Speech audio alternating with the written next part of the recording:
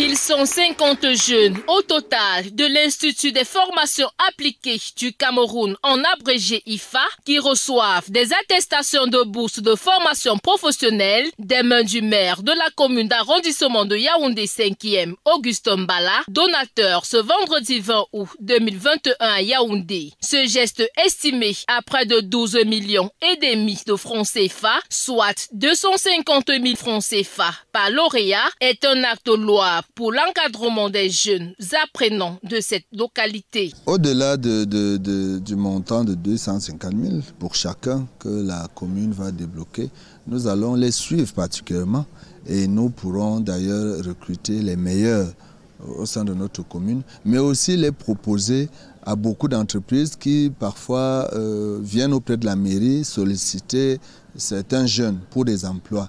Donc euh, nous allons les suivre, nous allons prospecter des emplois pour les meilleurs. Parce qu'il faudrait que lorsque la commune vous aide à trouver du travail, que vous rendiez l'honneur à la commune. C'est pour cette raison que nous allons suivre et allons encourager les meilleurs à trouver du travail. Ceci entre dans le cadre du partenariat public-privé prôné par le chef de l'État Paul Biya dans l'optique d'accompagner les jeunes dans leur formation professionnelle et le promoteur de cette prestigieuse institut, Fabrice Dormo, l'a bien compris, d'où l'initiative.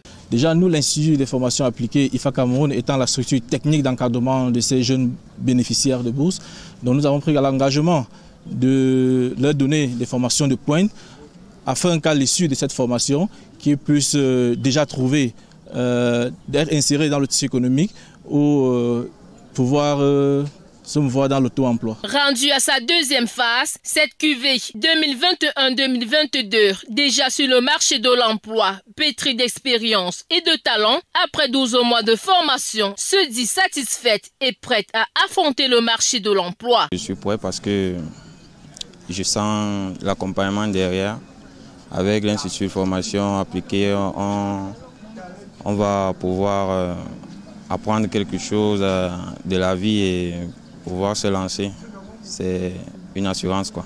L'Institut des formations appliquées du Cameroun, IFA, a pour particularité, après la formation, l'accompagnement et l'insertion de ces jeunes finissants. À l'Institut IFA Cameroun, il y a un mécanisme qui est mis, qui est mis sur pied pour suivre et accompagner nos diplômés jusqu'au monde professionnel.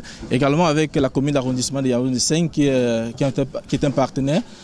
Il y a également euh, un mécanisme qui est mis à ce niveau-là pour accompagner ces jeunes diplômés à l'insertion socio-professionnelle. Rappelons que le but de ce partenariat est d'aider les jeunes à trouver un emploi afin de lutter contre le chômage des jeunes au Cameroun.